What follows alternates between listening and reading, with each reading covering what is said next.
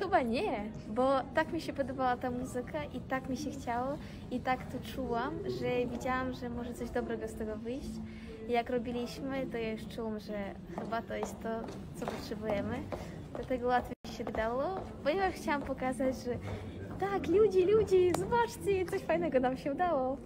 Dlatego nie było tak ciężko i się cieszę, że to zrobiliśmy. Tak jest, udało się.